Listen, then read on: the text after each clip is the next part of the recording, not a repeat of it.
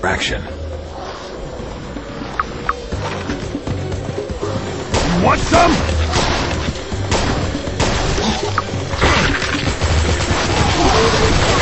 Go to hell! What do we have here?